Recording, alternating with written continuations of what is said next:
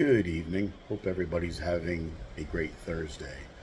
Um, just a short little observation. I've noticed a couple times being an observant American here in Germany that when I drive on the Autobahn, I pass a lot of trucks. And I've noticed quite a few of them lately have no exterior side mirrors.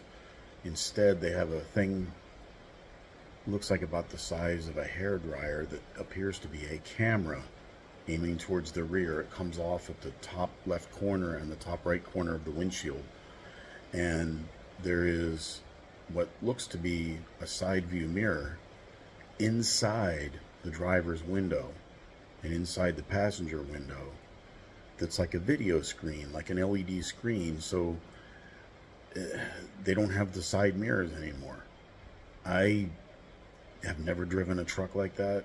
Um, I'm retired from trucking in the United States, about two, 2.5 million miles, 30 years um, from short haul driving, but I've never ever seen a truck like this. It must be something new in Europe. And I've noticed all the trucks here are flat nose in the front, cab over engine style, um, where the front is flat and the driver sits above the engine. It's because of the roads here can't handle a conventional tractor. But uh, another thing I noticed is that the doubles that they pull here, it's really a straight truck with a trailer behind it. So it looks like doubles from a distance, but it's different than the doubles in the United States. I believe the German one is called a B-train.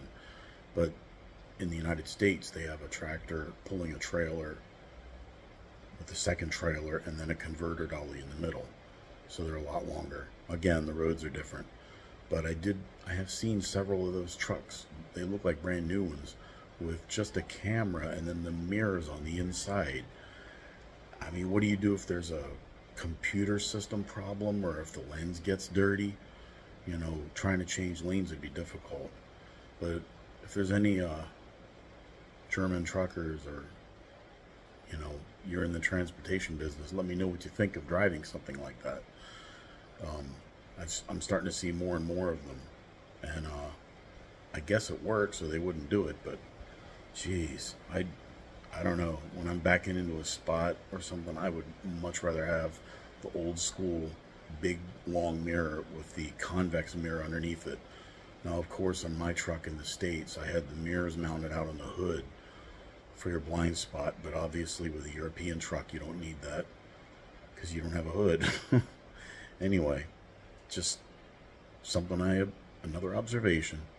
I'll try and put out a video, a better video tomorrow, but it's just started raining here. It's getting kind of dreary tonight. We do need to rain. Anyway, ciao.